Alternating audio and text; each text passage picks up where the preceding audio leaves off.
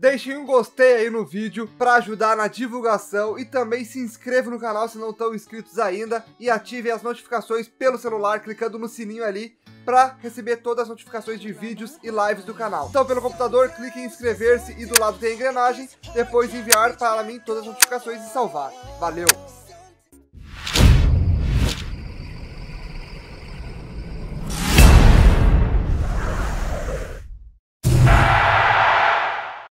No Tag Games de volta! Então, gurizada, dessa vez veio trazer para vocês informações quentíssimas da nova DLC 2.0 do PS 2017. Então, o que vai ter de mudanças, o que vai ter de novidade. Então, começando aí com o principal, que você já pode ver até pela capa aí da thumbnail, que é a nova face aí do Messi, é o novo visual do Messi, né? Que é com o cabelo loiro aí e com aquela barba maior. Muitos pediam pra Konami aí trazer essa atualização, porque não dá para editar a face do Messi, como vocês sabem, não dá para fazer essa alteração lá no menu Edit, e agora vai ser atualizado pela própria Konami. Além disso, terão mais de 100 faces novas aí no PES 2017, não sabemos ainda quais são essas faces, talvez divulguem aí no dia da nessa atualização, já, já, já vão falar quais são essas faces, não sei, mas Principalmente aí a principal mudança vai ser a do Messi que todos nós queríamos. Também teremos chuteiras novas, muitas chuteiras novas serão adicionadas, não sabemos ainda quais, mas acredito que sejam as últimas lançadas aí pela Nike Adidas que os jogadores estão utilizando.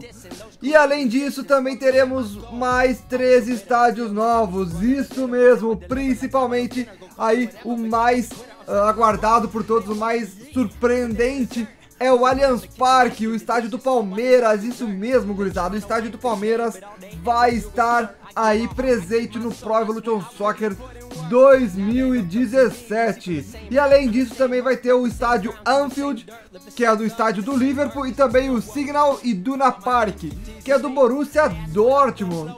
Mas esses três estádios aí para o nosso PES 2017, para nós jogarmos essa delícia de jogo que está perfeito. Além, né, das licenças de algumas ligas, porém com patch nada, nada que um patch não resolva, né? Como eu já estou postando bastante patches para vocês, ainda apenas o Xbox One não tem patch, mas o restante aí tudo vocês podem atualizar. Porém, tudo que foi dito até agora só vai estar presente nas plataformas PlayStation 4 e Xbox One. Essas atualizações são uh, somente do Xbox One e PlayStation 4.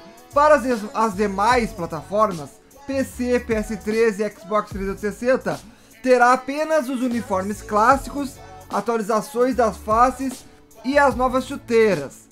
Infelizmente aí, os estádios não terão nas antigas plataformas, como já era de praxe, né? A gente já esperava por isso. Porém, a atualização das faces e os uniformes clássicos que também vão estar agregados aí nesse nessa nova atualização então, vai ter os uniformes clássicos, atualizações de faces e as novas chuteiras. Só não terão, só não terão aí os novos estádios. Então, gurizada, uniformes clássicos, novos estádios, faces atualizadas e novas chuteiras somente aí tudo isso somente nas novas plataformas PlayStation 4 e Xbox One para as antigas plataformas aí PlayStation 3, Xbox 360 e PC, somente uniformes clássicos, atualizações das faces e novas chuteiras. Porém, uma, uma, uma, uma coisa que eu não falei, os uniformes clássicos é do Liverpool e do Borussia Dortmund, são desses dois times, beleza? Então, gurizada, aos poucos, além de valorizar a imagem do futebol brasileiro, a Konami aí vai despertando um certo interesse daqueles clubes que não estão presentes no game e que veem seus adversários tendo sua imagem divulgada para o mundo todo. Acho que isso vai facilitar aí conversas futuras entre Konami e clubes brasileiros, que provavelmente desejarão fazer parte desse contexto. E com isso, PES 2018 vai ser foda demais, principalmente para nós aqui brasileiros. Então esperamos que vai vir coisa muito boa aí, o PES tá só crescendo, tá voltando aí a ter aquele incentiva, aquela motivação de jogar como era no tempo do Wing Eleven, Bomba Pet e aquelas coisas todas do Playstation 2. Beleza, gurizada? Então é isso aí, espero que vocês tenham gostado do vídeo, mais um vídeo informativo aqui do canal. Um forte abraço a todos, não se esqueçam de se inscrever se você não conheceu o canal ainda. Então é isso aí, forte abraço e falou! E galera, jogos digitais é com a Game On Digital Store.